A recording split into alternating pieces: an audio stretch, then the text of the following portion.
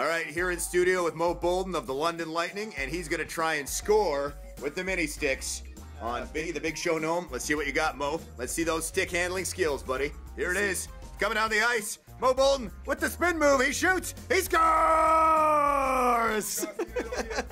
Huge. That's the turning point right there, man.